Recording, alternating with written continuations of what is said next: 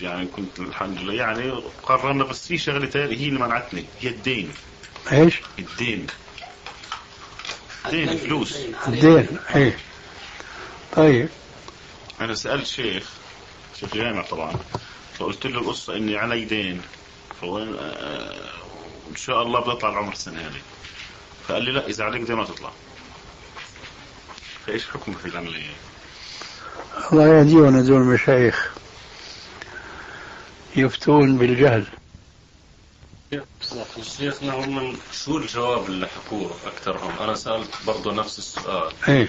فقالوا لي إذا بيكون عندك مصاري تغطي قيمة الدين هذا أو إذا انباعت ممكن تغطي أو في حد يسد عنك لا ممكن تطلع أما إذا فيش آه، عندك مصاري قيمة الدين أو فيش حد يسد عنك لازم تضل عبل ما تسدهم بعدين تطلع. وإذا عليك إشي وبدك تطلع تسأل اللي إلك إله عليك دين. آه، إذا سمح لك تطلع ما سمح لك. هذا الجواب الأخير هو الجواب الصحيح مع شيء من التفصيل. يعني القضية راجعة إلى صاحب المال الذي أدانك.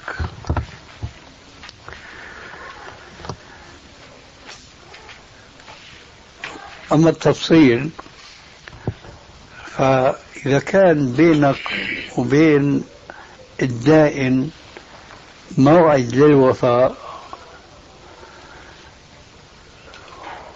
وهو ملح على هذا الموعد في الوفاء في هذه الحالة ما بيجوز أنت تسافر للعمرة.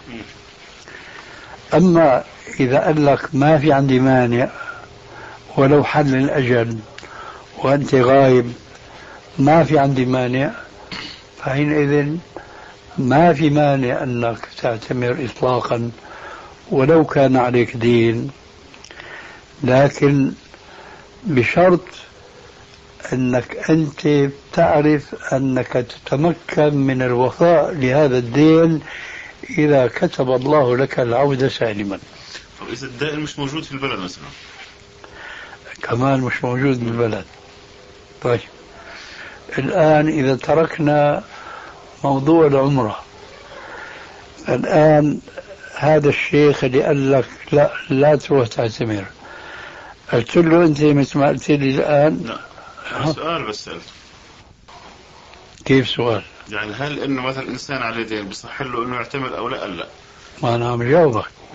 بس أنت هلا حطيت مثل ما بيقولوا عصا في العجل. قلت الدائن مو موجود هو هون الدائن مش موجود بالنسبة لي.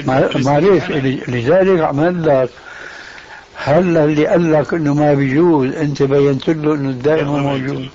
هذا هو.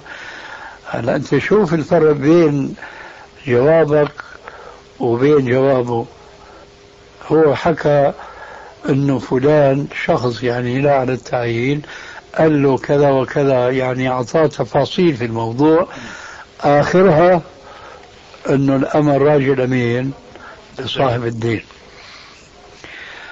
فأنا بقول هلا إذا كان بالنسبة لك الدائن مو موجود في البلد فهل معنى ذلك إنه ما في اتصال بينك وبينه؟ لا. ما في اتصال ما في طيب هنا بقى انت بدك تدرس الموضوع انت بنفسك هالدين اللي بده إياه منك ليش ما بتعطيه؟ ليش ما بتوفي له إياه؟ لأنه مش عارف وين هو ها آه. هي أحسنين إذا شو اللي بيمنعك تروح تعتمر؟ هي خوف ها. مش عارف يعني كيف؟ لأني خايف هل إنه مثلا العمره اللي بدي اديها هل إنه من- يتقبلها مني أو لا؟